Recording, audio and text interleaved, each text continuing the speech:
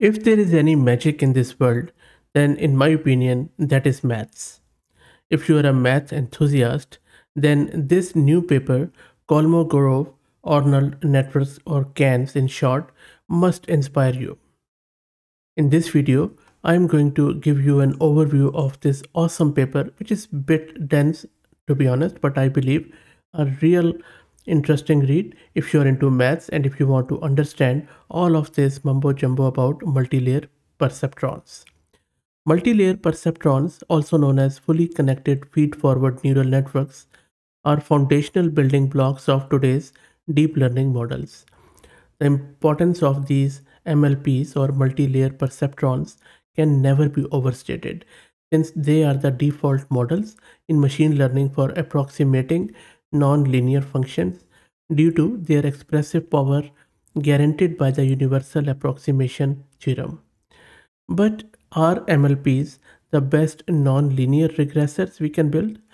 Despite the prevalent use of MLPs, they have significant drawbacks. In transformers, for example, MLPs consume almost all non-embedding parameters and are typically less interpretable relative to attention layer without post-analysis tool. That is where this paper presents a real promising alternative to MLPs called Kolmogorov-Arnold network or KANs for short. Now, both of these um, birds, Kolmogorov and Arnold networks are in the honor of two great late mathematicians, Andrei Kolmogorov and Vladimir Arnold. And by the way, KANs are mathematically sound, accurate, and interpretable. Now, going back to what we were discussing around this theorem, as we were saying that while MLPs place fixed activation functions on nodes or neurons, KANs place learnable activations function on edges or weights in other words. As a result, KANs have no linear weight matrices at all. Instead, each weight parameter is replaced by a learnable ID function parameter as a spline. And you can also see that in this diagrams roughly. KANs nodes simply sum incoming signals without applying any non-linearities. One might worry that KANs are hopelessly expensive since each MLP's weight parameter becomes KAN's spline function. But fortunately, KANs usually allow much smaller computation graphs than MLP. And they have proven it with lot of mathematical equations and experiments in this paper. Unsurprisingly, the possibility of using Kolmogorov-Arnold representation theorem to build neural networks has been studied.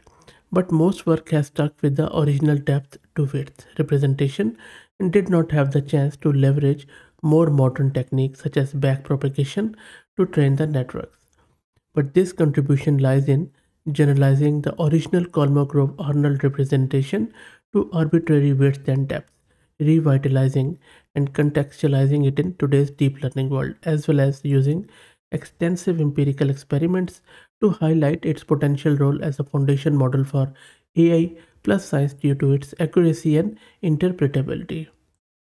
Now, there are a lot of other things which are happening in this paper. For example, um, this representation say that any continuous function of n variables can be represented as a composition of 2n plus 1 univariate functions.